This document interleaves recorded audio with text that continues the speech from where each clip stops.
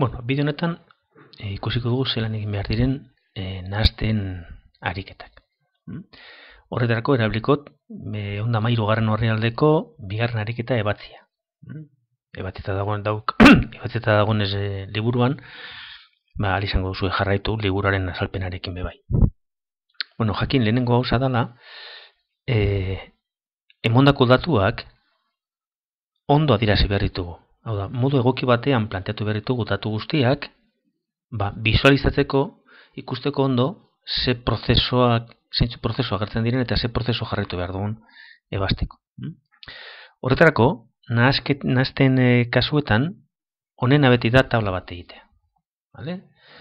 Tabla horretan, jungo gara kokatzen, nahaztatzen dira zen elementuak eta gero emoten diguten informazioaren kontura, balde izan kantitatea, prezioa, kostua, e, bueno, e, des, gauza, de, gauza desberdinak aldira gertu. Vale?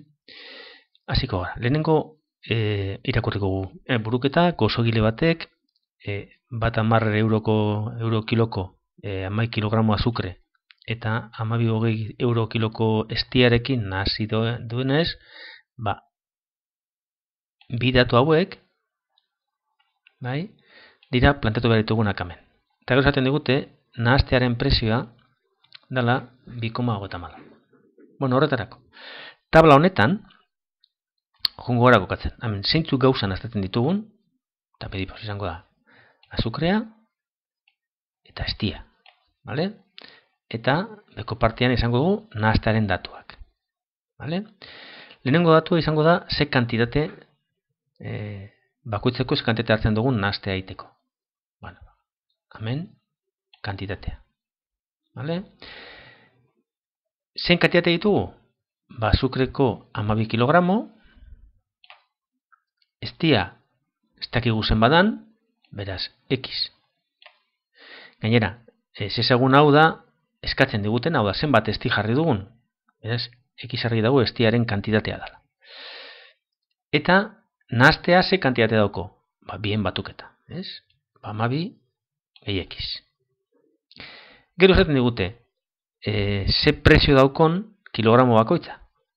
Bai, azukrarena, bai, estierena eta bai, nastearena. Bueno, jongo gara bukatzen horiek. Lehenengo, prezioa, bat amar, estia, edo parkatu azukrea, lau, e, lau hogei, e, estia, eta bi hogeta malau e, nahazte. Gau, datu hauekin, guk aldugu beteia tabla kalkulatuz azukre, erablikatu azukrea zenbat kostaten dauen, zenbat balio duen, erablikatu estia zenbat balio duen, eta gero bi datu horiek kalkulatu ondoren, izango dugu kalkulatu nahaztearen balioa zenbatekoa dan. Ale, jongora banan banan, azukrea ba, bat koma mar bider amabi. Bai? Hau da, amairu koma hogei. Estia, lau koma hogei bider x. X ez dugun ezagutzen, horren beste. Eta orain, zenba balio duen nahazteak? Ba, nahaztea balio dau, bi koma hogeta malau, bider amabi gehi x, ba, horren beste kilo eta kilo bakoitza horren beste balio duelako, edo bi hauen batura balioko dau. Vale? Hau da, bat koma hogei, amairu koma hogei, gehi, lau koma hogei x. Tarun, bi hauek bardinak izan behar dira. Vale? Orduan, plantatzen dugun ekuazioa izango da amairu koma bi gehi lau koma bi ekiz, berdin bi koma gota malau bueno, bai, parkatu, hau, hau da ekuazioa, bai, bi koma gota malau, bider, ama bi gehi ekiz.